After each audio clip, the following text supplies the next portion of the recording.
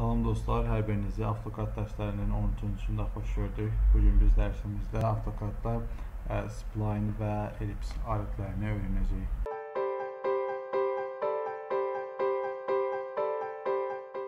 Girişdən də gördüyünüz kimi dostlar, AutoCAD-ı artıq biz açdıq və AutoCAD-da biz bugün baxacağımız hissələr burada center var, ellips alətimiz və burada draw menüsünün altında spline alətləri var. 3 dənə bu üç aləti, bu üç aləti daha doğrusu bu gün biz öyrənəcəyik onların nə işə yaradıqlarını.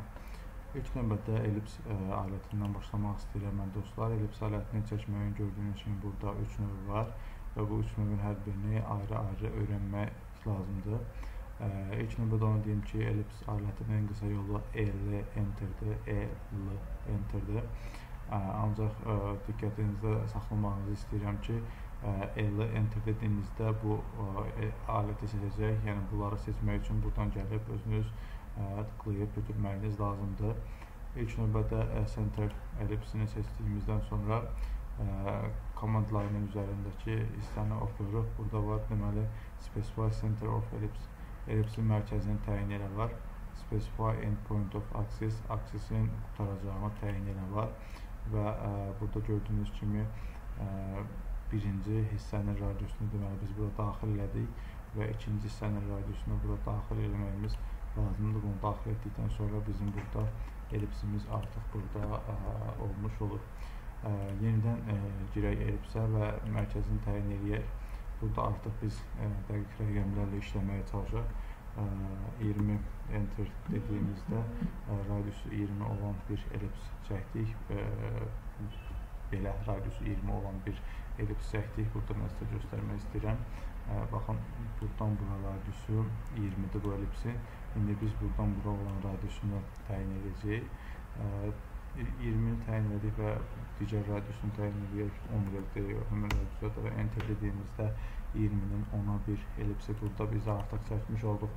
Ancaq ellips gördüyünüz kimi biraz əyri oldu. Bu isə bizim verdiyimiz istiqamətdən asılıdır.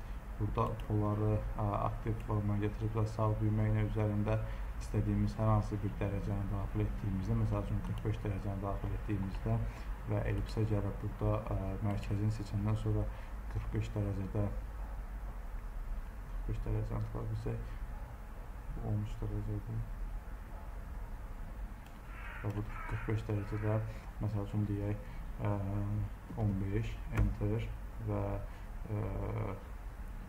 6 enter gördüyünüz kimi artıq bu ellips x düz xətti ilə 15 dərəcə bucaq əməl daha doğrusu 45 dərəcə bucaq əməl gətirən bir ellips oldu.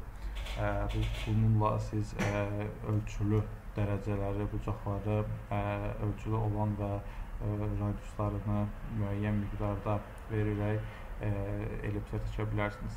Növbəti ellipsimiz aksis və end ellipsləridir. Həmin ellips specify axis end point of ellipse deməli ellipsin birinci başlanğıcın qutaracağını burada təyin etməliyik və digər hissəsini təyin etdikdən sonra burada bunu təyin edirik və artıq ellips buradan hazır olur. Burada bunları biz bağlayaq.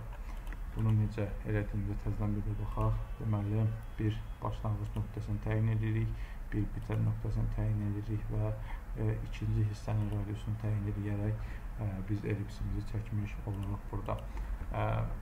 Bunların hər birindən istifadə, AutoCAD-da istifadə elədikcə siz öyrənəsiniz onların nə işə yaradıqlarını nə kimi yerlərdə işləndiklərini və təbii ki, biz bunlarla bağlı özümüz dərslər keçəcəyik. Həmin dərslərdə daha dərindən öyrənəcəyik nə işə yaradıqlarını.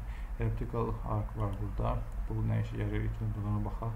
Specify axis endpoint of elliptical arc var. Ə, deməli, birinci burada aksisi təyin eləməliyik. Sonra həmin onun radiusunu təyin eləməliyik və gördüyünüz kimi və hələdir biz alətdən çıxmamışıq.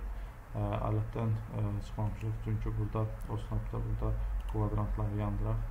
Məsəl üçün mən istəyirəm ki, bu hissədən bu hissəyə qədər gəlsin arxımız. Gördüyünüz kimi bu formada elliptical arxı təyin edə bilərsiniz. Bunların nə işə yaradıqlarına baxaq. Bir e, line aləti seçdim, yəni düz xətt alətini seçdim və F8-ə basaraq ortonu yandırıb düz xətt çəkmək üçün seçdim bunu və iki dənə burada düz xətt seçdim. Həmin bu düz xətlərin baş hissələrini mən birləşdirmək istəyirəm. Bunu biz çevrə mövzusunda da baxmışdıq. Ancaq indi elips mövzusunda da bunu ə, dərindən öyrənmək istəyirəm ilk növbədə. Burada ə, hər iki artdan istifadə edə bilərsiniz. Daha doğrusu ellipsdən istifadə edə bilərsiniz. İlk növbədə aksis və end ə, ellipsindən istifadə edək. Başlanğıc nöqtəsini və son nöqtəsini təyin elədik və burada da radiusunu, ikinci radiusunu təyin etməklə siz ellips çəkə bilərsiniz. Bundan sonra trim alətinə giririk və bu ortanı trim etdikdən sonra əlimizdə belə bir yer qalmış olur. Bu hissəni silmək istəyirəm mən indi isə burada elliptical arc vasitəsilə həmin bu hissəyə trimdən istifadə etmədən o arxı çəkmək istəyirəm. İlk növbədə arxın bu hissələrini bura yerləşdirdik. Onun radiusunu burada təyin elədik və gördüyünüz kimi hələ də alətdən çıxmadı bizdə. Deməli bizə lazımdır burdan belə arxın gəlməyi. Ona görə birinci başlanğıc nöqtəni seçdik və başlanğıc nöqtədən axıra qədər gedən hissəni seçdikdən sonra gördüyünüz kimi heç bir trim alətindən istifadə eləmədən burada arxdan istifadə edərək biz bu necə deyək, yolumuzun başlanğıcını, daha doğrusu qutaracağını bu hissədə belə tamamlaya bilərik dostlar. Elips alətindən bu qədər. Növbəti dərslərimizdə işləyəcəyimiz mövzularda elipsdən istifadə edəcəyik və bununla da siz elips aləti ilə bağlı biliklərinizi daha da möhkəmləndirəsiniz. Növbəti hissəmiz burada draw menüsünün altında spline fit alətidir. Spline fit aləti vasitəsilə biz əyri xətlər çəkə bilərik. Burada F8-i bağlamamız məsləhətdir ki, daha yaxşı xətlər çəkə bilərik. Deməli, bu xətlər bizim qoyduğumuz nöqtələrdən keçən ə, səlis əyri xətlərdir. Yəni, həmin ə, bizim hansı nöqtələri ki, qoyuruq burada, həmin nöqtələrdən keçən və bir-birini izləyən səlis əyri xətlərdən əmələ gələn, ə, necə deyək, bir fiqur yaratmaq üçün istifadə olunur. AutoCAD-da bu fiqurdan çox istifadə olunmur, ancaq digər ə, proqramlarda, Rhino, Geometry, Max kimi proqramlarda ə, spline aləti çox böyük ə, yaxşı şəkildə inkişaf edib və ondan çox ə, yerlərdə istifadə olunur.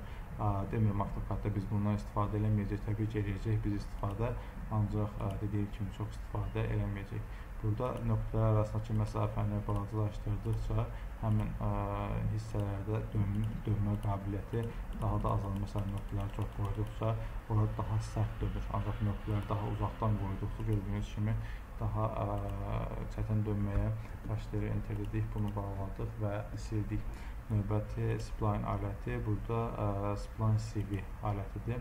Həmin spline CV alətini çəkək və baxaq görək necə işlədiyinə.